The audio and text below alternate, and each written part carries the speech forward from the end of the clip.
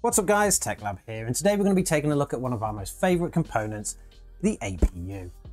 Now when we recently had the opportunity to pick one of these up for our benching rig, of course we had to jump at it because having something with an integrated graphics on a benching test system was really important to us because it helps us diagnose problems. But of course, like everything around here, we need to see how well we can game on it.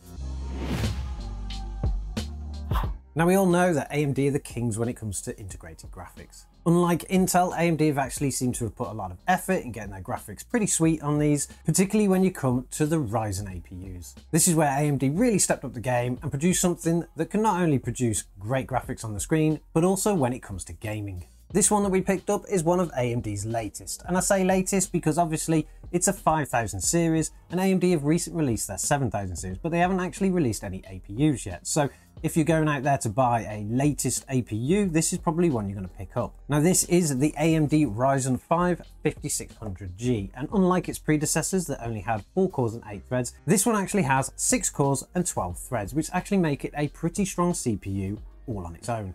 It does fit in the AM4 socket, which is great for those wanting to upgrade because with a simple BIOS update, you can get this running in a pre-existing system. And if you want to know how to do that, we recently did a video on it and we'll link it at the end. Now we've had this running in our benching system for over a week now, and it's actually performed really, really well. When you pair it with a graphics card, it's a pretty strong CPU, and when you test it without, you can actually get some great results. Let's take a look at some of the benchmarks we did, and then we'll talk about the results we got.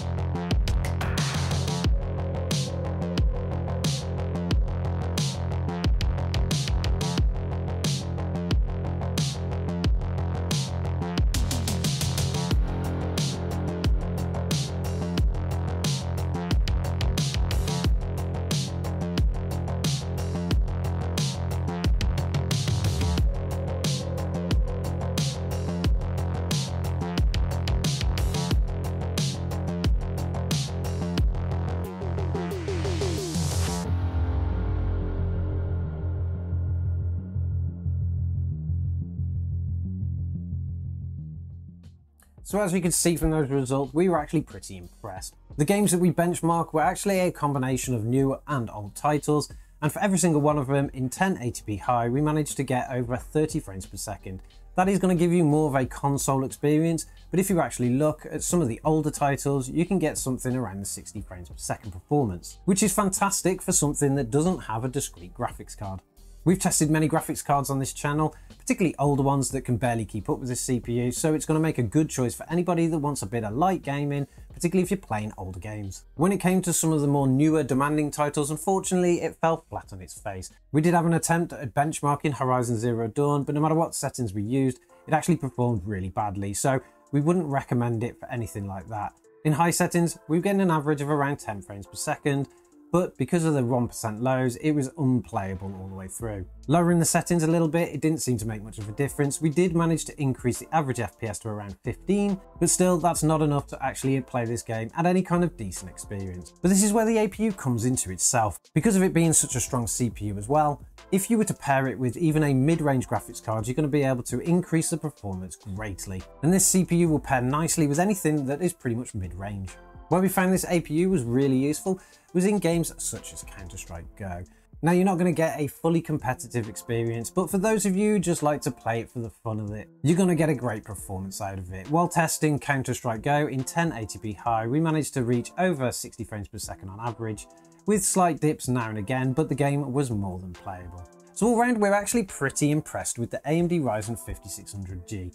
I'm actually looking forward to getting its bigger brother, the AMD Ryzen 7 5700G, because they're supposed to be quite a bit quicker than these, particularly when it comes to gaming. And I'm sure that's going to be soon because the prices of these are dropping rapidly as we speak. The more 7000 series get released, these are just going to continue to drop in price. And because they're still such strong CPUs, they're going to be really good for a long time. But I want to know what you think. Let us know in the comments below what you think of the AMD Ryzen APUs. Do you have a 5600G and if so, what are you playing? If you don't have one, would you consider using one to play games? We find them extremely useful, particularly because we like to build tiny little builds and that's what they're perfect for. And as long as we get a near console-like experience, even if it's the older generation of console, we're actually pretty happy with it. And that's our look at the AMD Ryzen 5600G. Don't forget to subscribe to the channel if you want to see more content like this, and also drop the video a like so that we know to do more, and we'll catch you in the next one.